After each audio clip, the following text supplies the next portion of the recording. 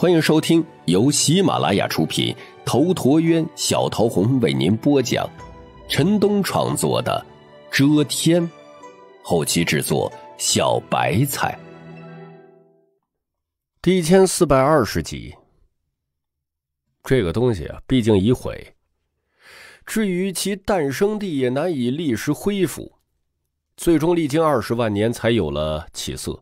也终于被地球上的最强者们感知到，预感到大事不妙。有人出手，以大法力分开了九十九龙山，想阻止天地恶化，可结果已晚，唯有取出这种东西方行。然而，那宗东西的诞生地过于恐怖，交织出的纹络极其逆天。当年有异域古星的一些盖世人物进去，都枉死了。想要进其诞生地，需一幅古图。若是沿着标注的路径前进，不会有任何危险，可以轻易的取出这宗东西。而且，这幅古图就失落在地球上。当年有一个异域古星的强大神朝护送这宗东西回来修复时，不小心失落在此。可惜，此图散落四方，且因为谁能拥有，进去就可得到成仙的希望。人们因此相互争夺，一时间无法合一。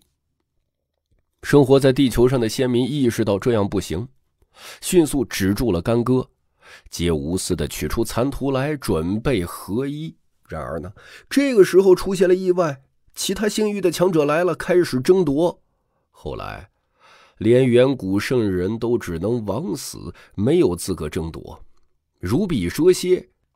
在上古年间，这个古星上只有几位大圣与一两位准帝有能力追寻。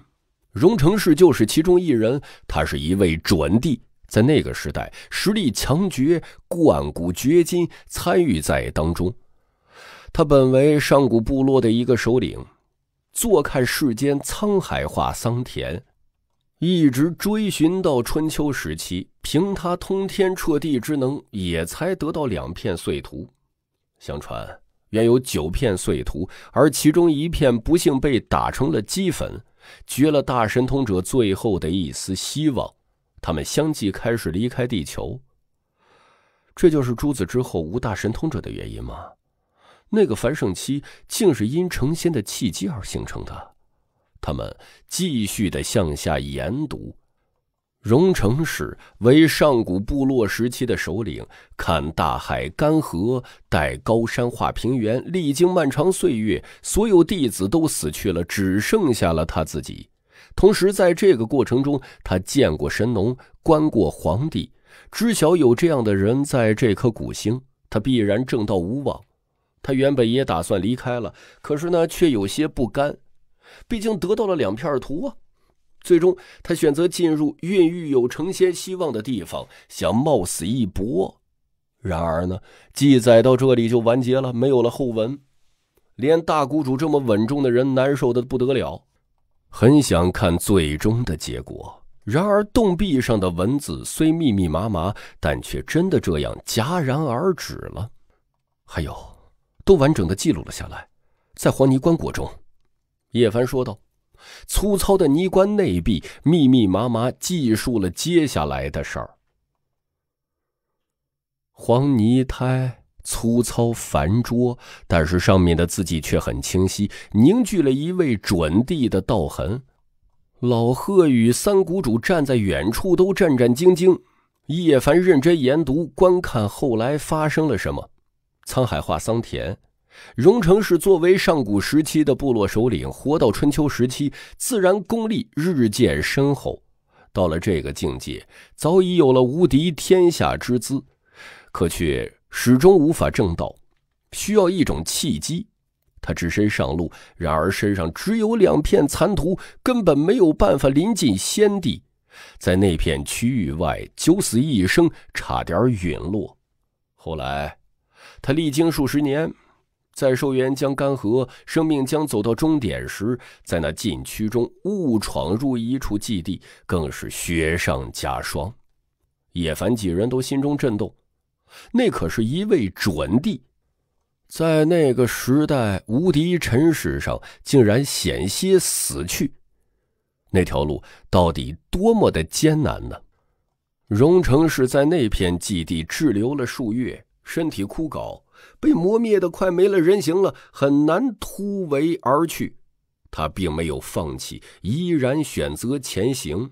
可是任他通天彻地，始终不见那原始的淡仙地，根本不可临近。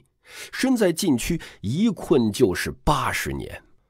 那里很特别，大道仙痕交织成的纹络可以破毁一切。他的准地级兵器都碎了，难以挣扎存活。第八十一年，就在他生命之火将熄、回光返照时，却有了意外的转机。他在那处待仙的禁地发现了一株不死药，叶凡也只能这样感慨了。真是造化啊！不过细想来也没有什么，既然可以诞生出成仙的希望，在那里出现一株不死药也是理所应当的事情了。啊，那里是昆仑！老贺惊呼。在黄泥关内，除却文字外，还有一幅刻图，非常的详尽与精准。一条巨大的龙脉，磅礴巍峨。这条昆仑龙脉与九枚上古玉块合并在一起后呈现的那条中央龙山一模一样，极其壮阔。在上古玉块图上，它位于中央，占据了四分之一的地域，最为浩瀚。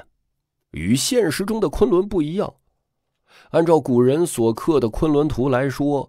而今所能见到的昆仑山，只是一小段尾梢，是主体的一角，相差很远。荣成氏在昆仑仙地得到了一株不死药，也于同时恰巧闯出了禁地。一位准帝耗去近百年时光，在那里近乎是生死道消，却没有真正的踏入正地，他有些心灰意冷。回来后。最幼的弟子也挡不住岁月，逝去十几载了，只剩下他一个人，孤零零的活在世上。最后，他将所有弟子门徒都葬在了这里。黄泥关上的记载到此结束。看他最后的心境，似乎已经厌世，不想活下去了。可是，这个地方为何没有其尸体呢？大谷主生疑，效仿九十九龙山为自己筑了黄泥关，将弟子门徒陪葬于此，怎么看都像是荣成氏厌倦了红尘，要结束一生。叶凡仔细观看，在黄泥关底部发现了疑似画道的痕迹，可是有一个很大的疑点：不死药呢？他们遍寻这个地方都不见踪迹。人参果树像是人间蒸发了，没有留下点滴痕迹。他到底吃没吃不死药？黄泥关上没有一点记载。他是否化道了？关底的痕迹似是而非，不能判断。他的生死有些扑朔迷离。他们一番讨论，并没有最终结果。不知荣成是是生是死，难以得出结论。可以看出，荣成是费了一番心力养了九十九龙山，且自己真的进入过黄泥关，刻下了这些文字。在那个时候，他一定心神疲惫、黯然伤感，不想独存世间了，静静的躺在关中等死，不然不会有这一切。然而后来究竟发生了什么，就不得外人所知了。叶凡自语：“昆仑。”那个东西在昆仑。真正的昆仑龙山磅礴高耸，为古来万山之祖，有许多区域神秘无比，人类根本不能涉足。叶凡大喝了一声：“起！”将沉重如山的黄泥棺搬了起来，放在另一边。出现两枚骨片，与在赤松子棺中所得的类似。他持在手中，仔细观察，上面果然刻有地势图，复杂雄奇，通向成仙地。我已有五幅残图了，可以借此进昆仑。他当然不会犯险，连准帝都扛不住，九死一生，差点陨落在那里。凭他目前的修为，只能持图远观，初步探看地势，根本不可能临近，取不出成仙的希望。官邸还有字，老贺与三谷主在这个地方手软脚软，准地气机太过摄人，他们根本受不住。叶凡抬起黄泥棺椁时，他们坐在地上看得清楚。也许。